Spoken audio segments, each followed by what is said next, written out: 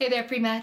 In this video, we're gonna figure out what on earth they mean by calculating a rate law and how to define each part of the rate law as it applies to reaction kinetics.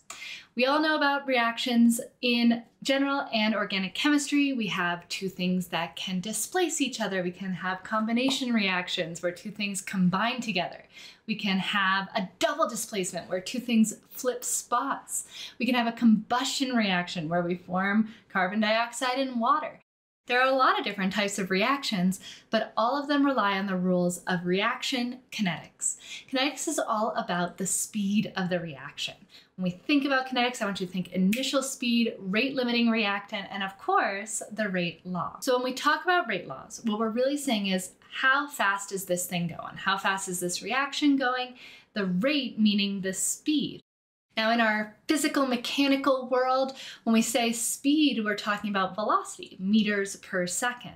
When we're talking about reactions, when we refer to rate, we're referring to molarity per second or concentration per second.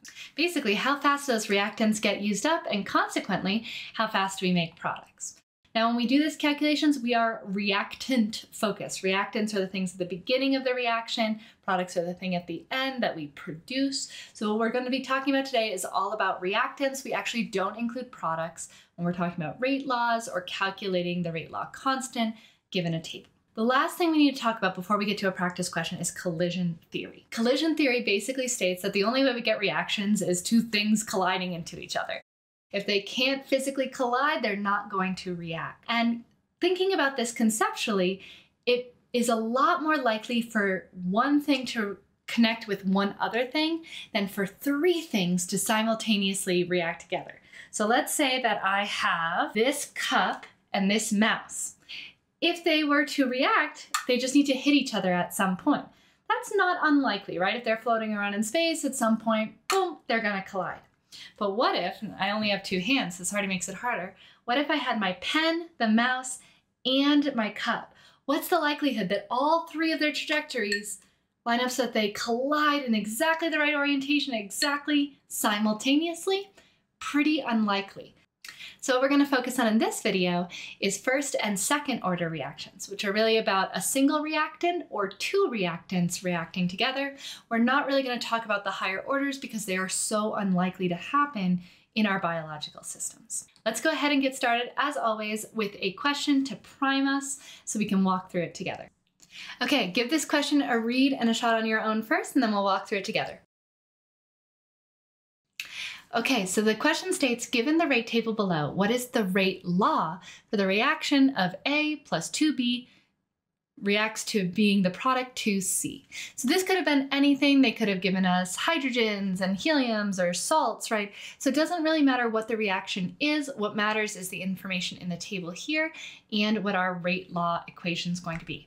So when they ask you for rate law, what they're really asking us to determine is which if any, reactants matter for the rate. So our rate law is going to tell us which concentrations matter and in what quantities. When we do a rate law, first rules first, we always do rate equals K. K is the rate constant. Sometimes questions will ask you to calculate rate constant. So we'll go ahead and do a derivative of this question where we're asked for the rate constant, and we'll be able to walk through it together. We're always going to include rate equals rate constant, which is a constant of the equation, and then we have to figure out which reactants are involved in the reaction.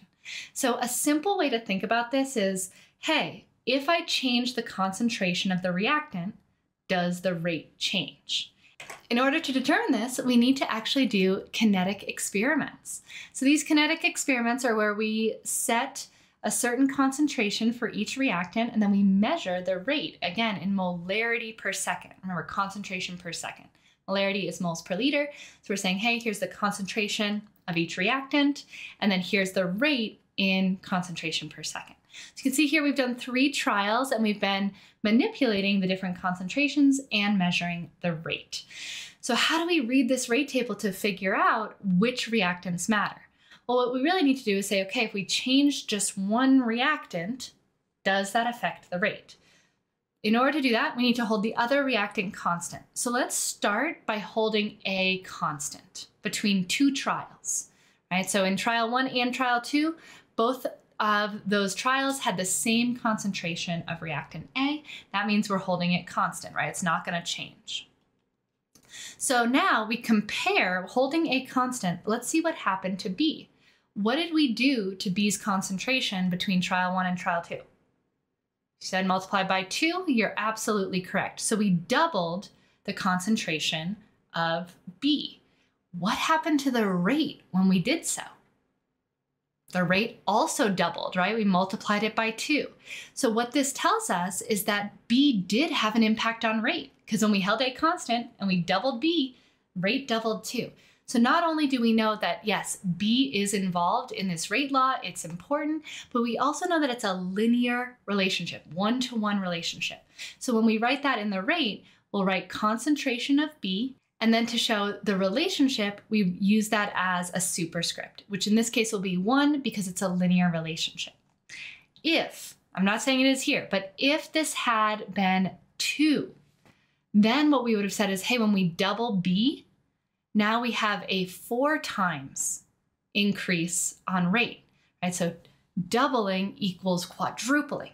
That's known as an exponential relationship, right? So in that case, our rate law would have been b squared because it has a squared relationship, right? When we doubled b, our outcome of our rate was four times, which means we need to have a square as our exponent.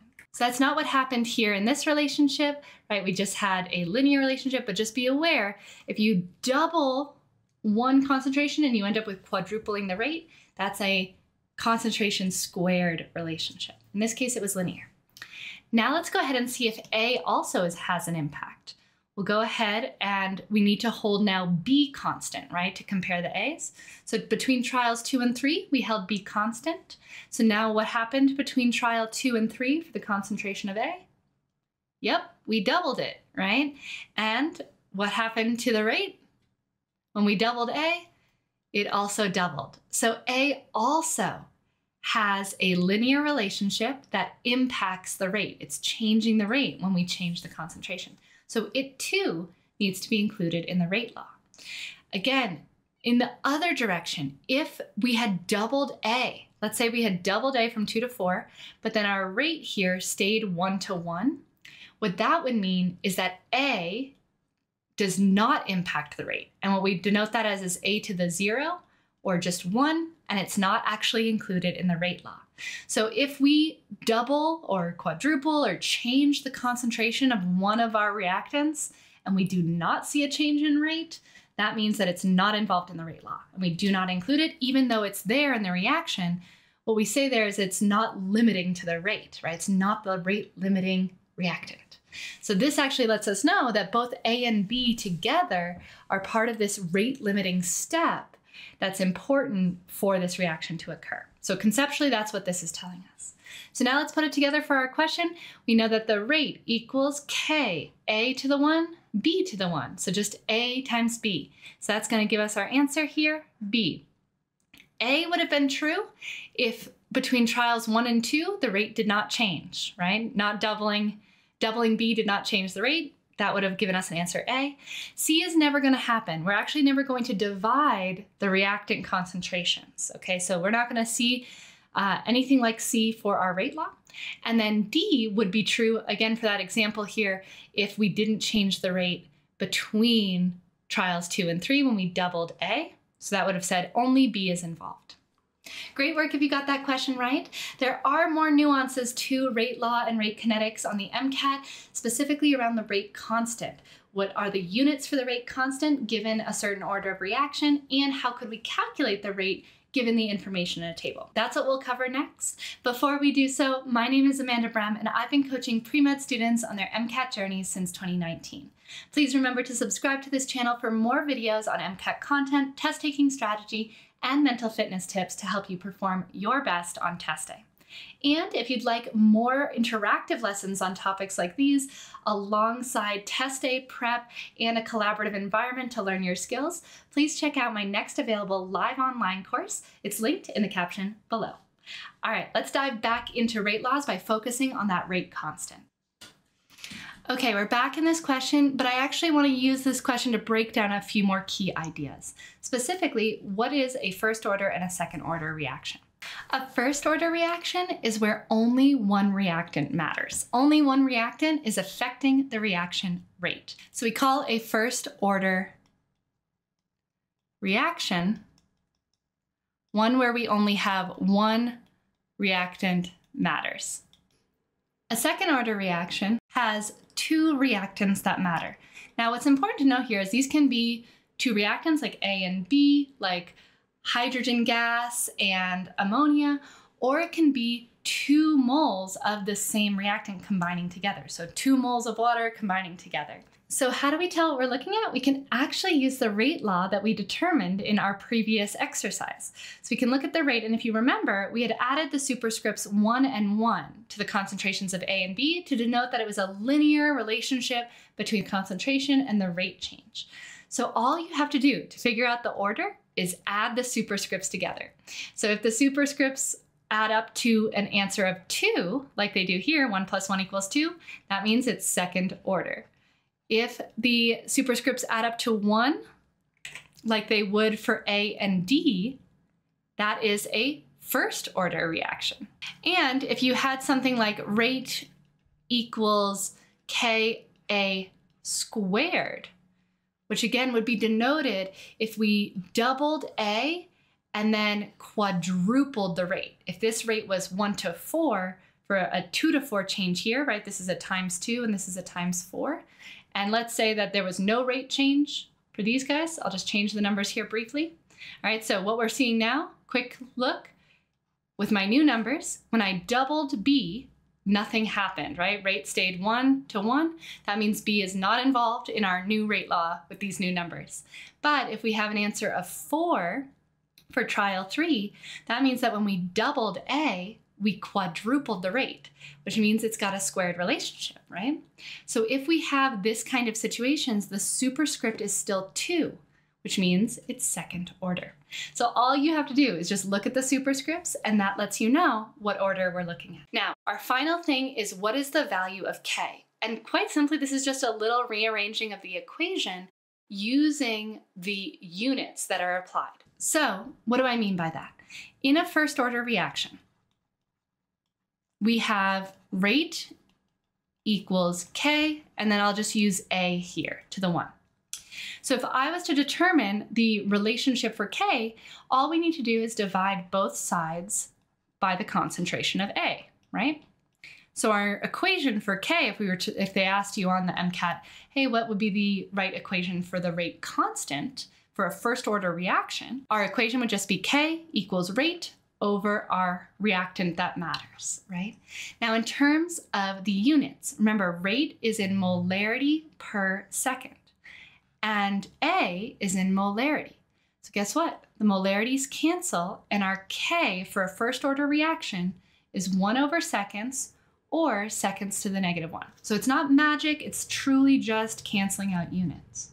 For a second order reaction, we'll do the same thing right? So rate equals K times A. And again, in this case, I'll just do A times B just to make it real obvious, but the same would be true if we used A squared, same math applies.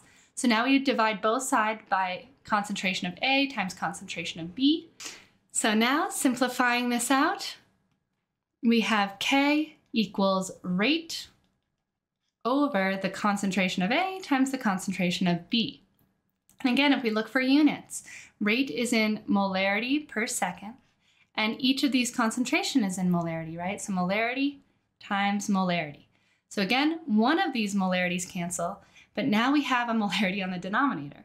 So it'll end up being 1 over molarity times seconds, or as it's more often written, molarity to the negative 1, seconds to the negative 1.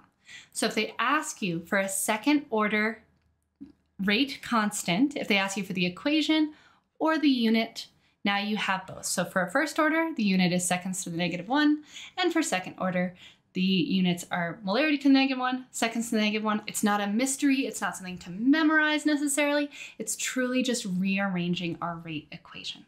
I hope that was helpful for you. Again, rate laws are all about reaction kinetics. So if they ask you about thermodynamics, we're not even in this category. This is something that often connects to catalysts or enzymes in the biobiochem section. So you may see rate law tables and equations alongside enzyme kinetic concepts in a passage or in a question stem. I hope this was helpful, and as always, happy studying.